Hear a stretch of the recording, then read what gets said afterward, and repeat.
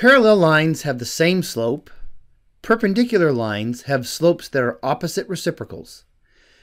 We are to find the equation of the line in slope-intercept form that passes through the point 2, negative 3 and is perpendicular to the line 1 fourth x minus 1 third y equals 1 sixth.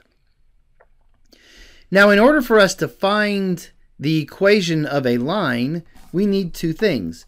We need a point and the slope. And it's nice if that point is the y-intercept. Doesn't have to be, but it could be. If it was, then we could use the y equals mx plus b form for the equation of a line. And we're supposed to do that. We're supposed to find the equation of this line in slope-intercept form.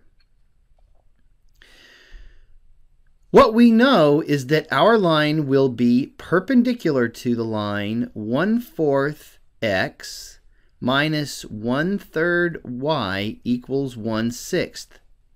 So we'll begin by finding the slope of this line. And we'll do that by solving for y.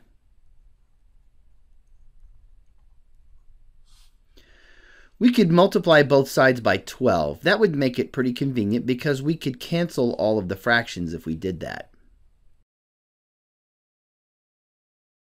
So we'd have 3x minus 4y equals 2.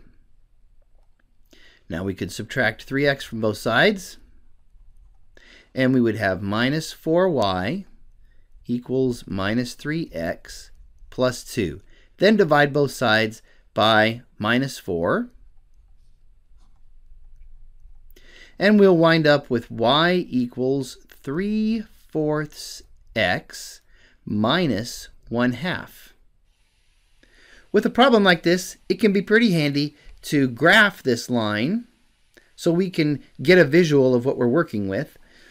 This line has a y-intercept of minus a half, and then it has a slope of 3 fourths. So I would go up 3, so from minus a half, that would be up to a half, 3 halves, 5 halves, and then to the right 4.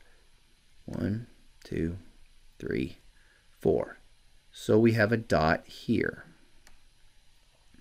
So we have the line then that passes through the dots, 0 minus a half, and 4 5 halves. So we can draw the line then that goes through these two dots. And then draw the line that we're supposed to find. We know that the line that we're supposed to find is perpendicular to this line.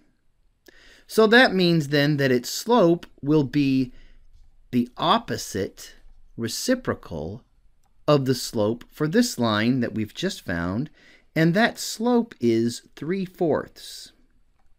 So the slope of this line, the first line is 3 fourths.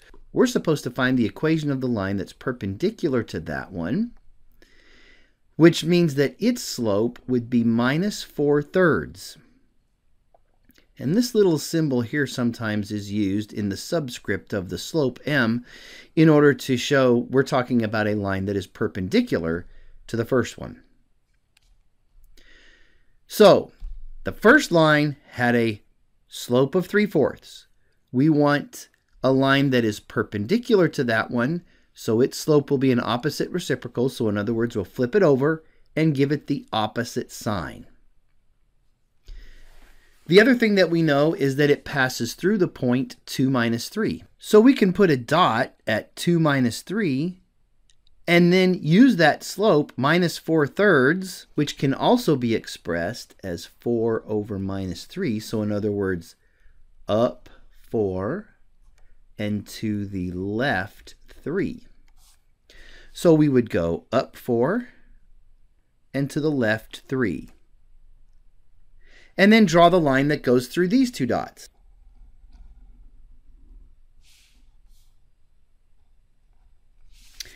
And this then would be the line that is perpendicular to the first line. In other words, they should meet at right angles. Now, using this form that we're familiar with, y equals mx plus b, we have an ordered pair, you'd call it xy, that satisfies this equation, and we have a slope, minus 4 thirds. So we'll plug in minus 3 for y, minus 4 thirds for m, and then 2 for x, and solve for b.